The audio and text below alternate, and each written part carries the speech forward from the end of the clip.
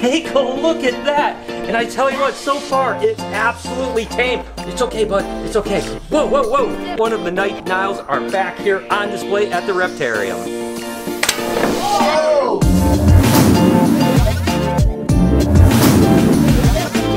Hey, good morning everybody. Welcome to the vlog. I hope the start of your day is absolutely incredible. I am so happy to be back here at BHB and of course at the Reptarium and I have an amazing thing that I cannot wait to share with you guys. For you guys that have been watching for quite a while, you might remember the Night Niles. That's right. They were solid black Nile monitors and the only ones in the world. I think there was another baby imported this year. Regardless, I've got one of them back and this is the cage that it's going to go into right here. It's going to be absolutely amazing. It's got a big water bowl. It's got different layers. It can go back here and get a little bit of a hide. It can come up here and really get super hot. It's about 115 degrees right there. So this is gonna be absolutely incredible. What do you say we go ahead and take a look? I have not seen this animal since it was like little, so I'm super excited to see it again. Ooh, doggy.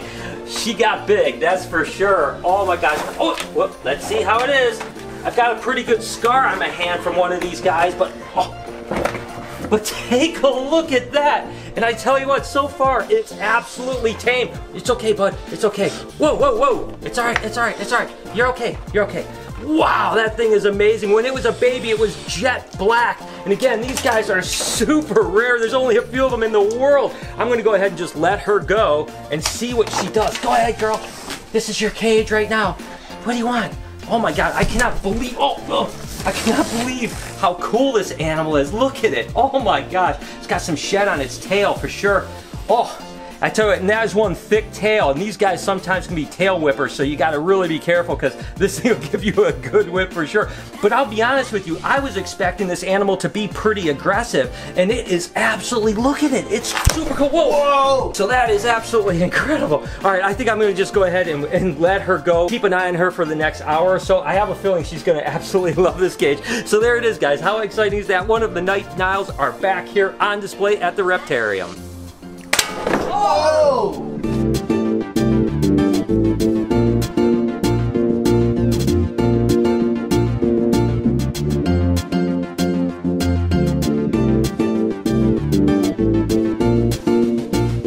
Tell you, one of the cages I was really excited to get going were the mangrove snakes. Of course, I've enlisted Jessica because you're the most artistic. She really loves to decorate the cage, so I'm gonna just let her go, kind of give her a little bit of a hand, but she's gonna create an amazing environment for the mangroves, and then we'll move them over here. What do you think? Yeah, sounds great. All right, let's do it.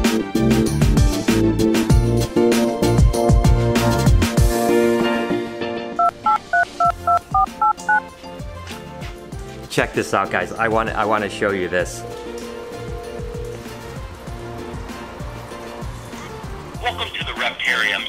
Michigan's Reptile Extravaganza. If you're interested in a birthday party, school event, private tour, or corporate party, please leave your name and number down below, and we'll be happy to get back to you. You can also visit www.thereptarium.com for all of the hours of operation and extras that you can get. Have a wonderful day and stay wild. How freaking awesome is that? So I am going to put the number of the Reptarium down below you guys can call, as well as guess what? www.thereptarium.com is live, so you can go down below, check that link out. You can go on that website, you can see scheduling, you can see dates, you can book tours, you can book birthday parties, you can book whatever you want. So I am so excited. Although we still have a lot of work to do to get open on the 21st of September, uh, I think we're going to get there. It may not be 100% done, but done enough to where we can actually open up and start getting you guys in here and seeing the place. I am so excited, but I was just really excited about that. I wanted to share it with you. Uh, let me know what you guys think. You're being silly. You want no banana? No.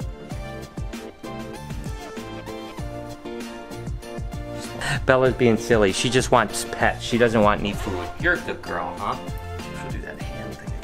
Here we go, the cage is done. Jessica basically did all the vines, kind of the plant stuff. I just helped kind of screw it together, so I think it looks absolutely amazing. And this is really what's gonna set these cages apart and really make them pop, is when we start getting some of the foliage in. Again, with the mangroves, there's the hot spot up here, so it can climb up if it wants to, hang down here, it can go in here to a cool spot, kind of hide a little bit. There's even some branches up here it can climb up to on the cold side, wherever it is. I think this is gonna be absolutely incredible. So we're just gonna go ahead and put some bedding in here, some water in here, and then we can move one over. The thing is with mangroves is that they will eat each other. So I think I'm gonna move one over, let it be here for a couple days. Then I might try a second one when I'm gonna actually be here to watch them because the last thing I wanna do is have a mangrove eat another mangrove. I've actually had it happen before, so gotta be a little bit careful. I think the fact that this is such a nice cage and there's lots of different areas, we're gonna be okay, but I'll do one at a time. So the moment of truth, we are gonna go ahead and move one of the mangroves. We're gonna move a male in today and then maybe a female in next week so we can really keep an eye on them. Again, I don't want there to be any accidents. This gives me an opportunity to move this little monkey here into the cage and just see how he's doing and stuff like that. So let's do it.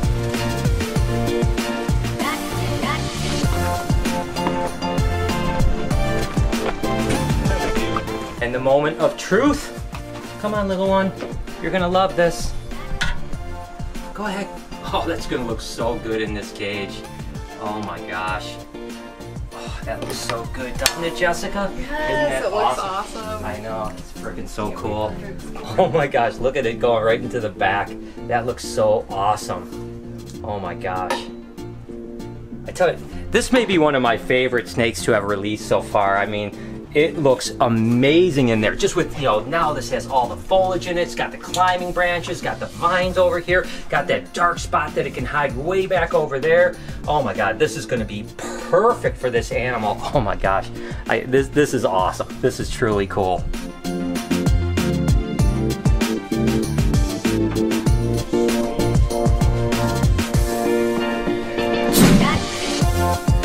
You know, there are so many little things that has to be done in the reptariums before we open on the 21st. I just did this little piece here that's at the front entrance that basically when you're walking out, it just looks a little bit more tied into the theme. Before it was just drywall, but now it kind of ties into the entire theme of the zoo. You can see Lori over there, she's doing all the touch-up work. And by touch-up work, you can see she's putting the silicone in there, and then she's using that coloring to kind of tie this all in and feather it in, just so it's completely seamless. There's a lot of that still left to do. She's done a tremendous amount of it, but we still have a lot to go. It's amazing how just doing stuff like this changes the look so much.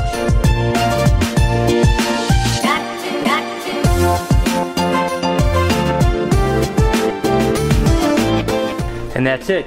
It's like magic. I tell you what guys, I am loving this Argus monitor. I mean, it is just always like just hanging out. I'm gonna go ahead and see if it wants to eat. Do you wanna eat, bud? Oh my gosh, it wants to eat, all right. Holy moly! Did you guys see that? Oh my god, I'm gonna give it another mouse. That is ridiculous. Oh my gosh. Oh, it's like crazy. Oh my gosh. All right, last mouse, last mouse.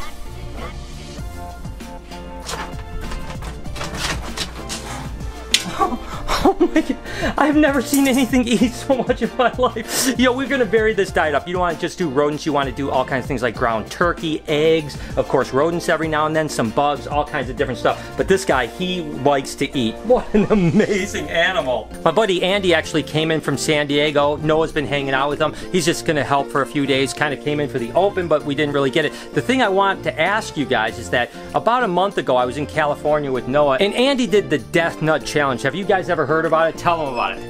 So you basically go through five different levels. It has like two or three peanuts each, and as you go like from level one to level five, they get hotter and hotter. And by the time you get to level five, it's literally like eating fire, like eating charcoal bricks that are hot. It's insane. Yeah, and, and we filmed it, but I'll be honest with you, I ended up not using the footage because I, I'll be honest, I don't like to see people in pain. And he was, I, he could barely talk. Noah, you weren't there, were you? I was not there. Oh my God, you got it. You got the challenge. You want to do it? No. Oh my gosh. So the question is, you guys, I do you want to see it? I, if you can, I, I'll go ahead and edit, and I'll throw it at like the end of a vlog, or I can actually put it on Andy's channel. Let me know in the comments. Definitely go give him a follow. I'll put his link down in the description. Uh, let me know what you guys want to do. If you want to see this guy in pain, I'll put it on the vlog. It was horrible. I hope you guys want to see it. If not on his channel, you can come and watch it on mine. but either way, I guess you'll get a chance to see it. And uh, my suggestion is you never do the Death Nut Challenge. Winding down another amazing day back here at the Reptarium. You know, sometimes progress doesn't actually look like progress, but it actually is progress. And the thing we did today is we straightened out all these racks, we joined them all together, so now they're all completely anchored into one spot. And look at how they flow so much better. I mean, they're not wiggly and waggly, they're perfectly good right here. And by the way, look at how amazing that is right there. I mean, she has just been sitting there for the last couple hours, just like that, almost like it's ready to hunt. But regardless, all of these are now joined together. All we have to do for the center aisle is actually do one more little rack here, and then there'll actually be a door that swings open so that you can get back here to service stuff from the behind. And then we'll put all the face stuff on it in a couple days. Again, all of this wood is gonna be covered with the same type of materials like this, similar anyways, so it's pretty interesting. Again, we have, I don't know, six days, something, I don't even know how many days. There's not a lot of days left, but we have a lot of work to do, but hey, days like today make me feel really good because we did make a lot of progress, even though things may not have looked a lot different, they certainly were. So we are getting closer, people, and I am getting more and more excited every single day. And I know you guys are gonna get bored of this, but I just love walking through this place at night. Just seeing it lit up with the lights out. I can imagine when these cages are all lit up how amazing it's gonna look. Bella's back in her sleeping spots like she always is, but just look at how cool this is. Oh my gosh, you guys don't even understand. This is such a dream come true. And then night, really quick in the incubator, take a look at some of these right here. Oh my gosh, this just hatched out. There's some amazing new babies that are in the egg. I don't even know what some of these are, but they're absolutely incredible. I tell you what, I love coming home after a long day and checking the incubator and seeing some amazing eggs. Look at the yield in this clutch here. A bunch of little white babies. Oh my gosh. That is amazing. Looks like there's one little white baby still in the egg over here, but that is a gorgeous clutch of eggs. And speaking about a gorgeous clutch of eggs, take a look at these. These are just a handful of Lucy's eggs. There's actually three boxes of these eggs, and they are ready to hatch any minute. I mean, just take a look at how deflated they are. Oh my gosh. So I think tomorrow, I'm gonna go ahead and cut Lucy's clutch. Let me know in the comments if you guys want me to do that, because there's about 40 eggs in there, and I think I'm gonna go ahead and cut them. I don't know a tremendous amount about retic genetics, to be honest with you. So I'm gonna be cutting them and I'm gonna probably be like, I don't know what this is, but it's awesome. Let me know in the comments if you want me to do that. In the meantime, I'm gonna go ahead and shut the vlog down tonight and call it a good day. I hope that you have an amazing day, evening, whenever you happen to be watching. As always, your support means the world to me and I truly do love you guys so much. Can you do me a couple favors before we get out of here? Can you smash that like button? Turn the post notifications on so you know when I upload a video. Make a comment so I can read about you guys. Be kind to someone and I promise I will see you guys tomorrow cutting some of Lucy's eggs.